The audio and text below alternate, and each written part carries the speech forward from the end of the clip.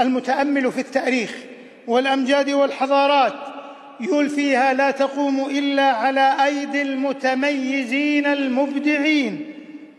المتحلين بالوسطية والاعتدال.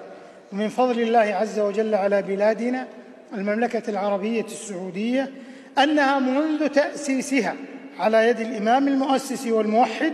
الملك عبد العزيز بن عبد الرحمن طيب الله تراه وهي تعنى بالتميز والإبداع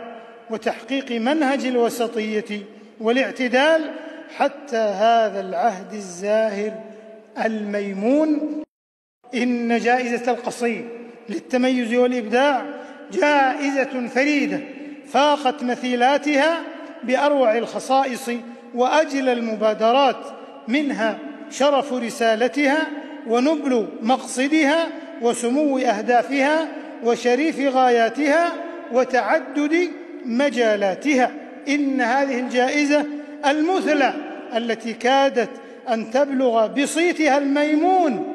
رغم عمرها الممدود بإذن الله صارت ملء الأفئدة والعيون لتخاطب العالم